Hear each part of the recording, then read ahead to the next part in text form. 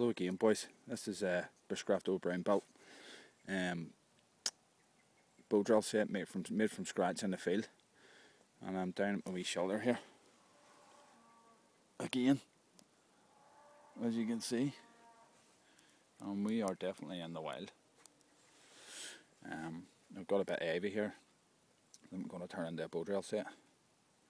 And uh, I've got a bit of a bit of the old uh, grass there for a tinder bundle. And I'm uh, going to crack on, I'm going to make a set out of this here and uh, get an ember and blow it into the flame.